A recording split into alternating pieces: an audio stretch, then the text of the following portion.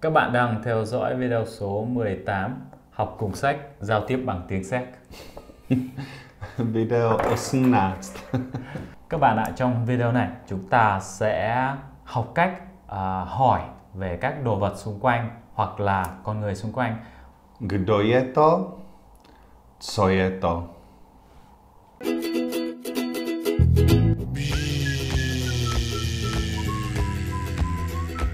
Cầu tinh, cầu tinh, cầu tinh Cầu tinh, cầu tinh, cầu tinh Cầu tinh, cầu tinh Hmm? Karlův most. Hm? Cầu tinh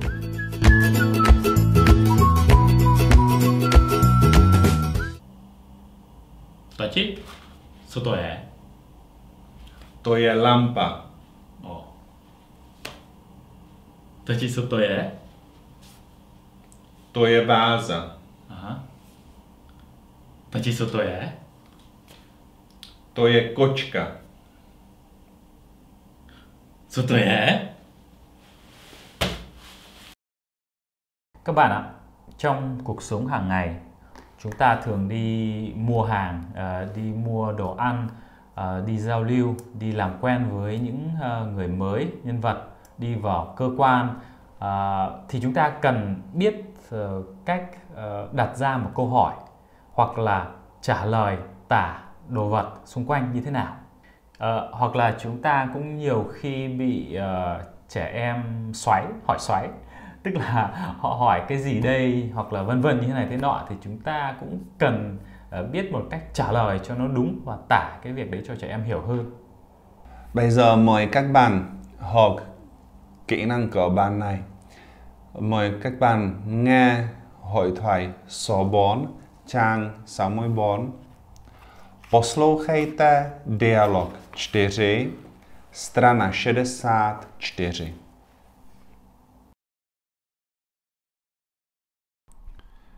Dobrý den, vy jste pan Karel? Dobrý den, ano, jsem Karel. A kdo jste vy? Jsem Petr, jsem z České republiky. A to je Eva, je ze Slovenska. A kdo je tam? To je paní Alena. Prosím vás, co to je? To je Chúng ta đã nghe thấy những câu hỏi này trong cuộc hội thoại. Kdo jste vy? Kdo je tam? Co to je? Các bạn ạ, cái từ hỏi trong tiếng Séc, ờ, ví dụ là kdo hoặc là chó, thì trong câu hỏi nó đều đứng đầu. Tức là nếu mà các bạn muốn đặt một câu hỏi à, bằng tiếng Việt sau đó là dịch sang tiếng Séc, thì trong tiếng Việt chúng ta lại phải lộn lại hết từ đầu, à, sau đó mới dịch ra bằng tiếng Séc được.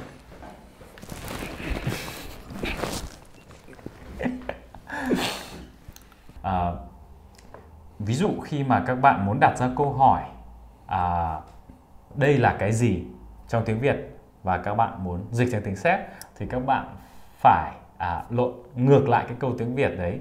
Ví dụ là à, cái gì là đây? Và sau đó các bạn mới có thể à, dịch sang tiếng Séc được.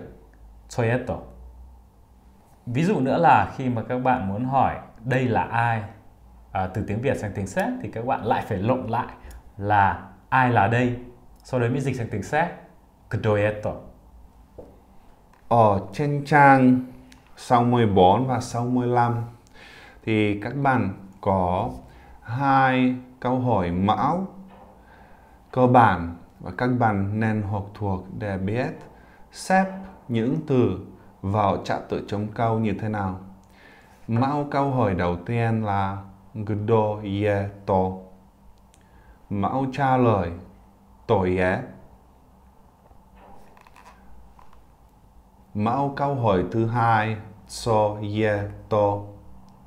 Mẫu trả lời To je Có nghĩa là khi mà chúng ta trả lời chúng ta cứ lấy cái từ cuối cùng của câu hỏi đặt lên đầu. Đúng rồi. Như thế ờ, cái điều lệ này thì có thể dùng đỡ các bạn để bắt đầu tạo câu từ đầu như thế nào. Có nghĩa là cứ lấy cái đuôi lộn lên để trả lời. Đúng rồi. À, câu hỏi uh, kdo je to và trả lời to je vân vân. Thì chúng ta dùng khi mà chúng ta hỏi về uh, con người một nhân vật nào đó. Nếu như mà các bạn hỏi co je to thì không bao giờ trả lời được bằng con người nào đó nhưng mà mình hỏi về đồ vật. À, các bạn đã đến bây giờ chúng ta có thể có được một bài tập à, đặt câu hỏi và câu trả lời về đồ vật hoặc là về các nhân vật thì chúng ta hãy dở sang trang 65 và làm bài tập số 6. À, trong bài tập này thì các bạn hãy nghe câu hỏi của chúng tôi, sau đó là thử trả lời và chờ một uh, một một một hai giây, sau đó chúng tôi sẽ đáp án ngay lập tức. Cvičení 6, strana 65. Poslouchejte otázky a odpovídejte. Co je to? To je zmrzlina. Co je to? To je počítač. Co je to? To je lékárna. Co je to? To je klíč. Co je to? To je dům. Co je to? To je miska. Co je to? To je taška. Co je to? To je policie. Co je to? To je kůň. Co je to? To je květina. Kytka. Co je to? To je budík. Co je to? To je auto.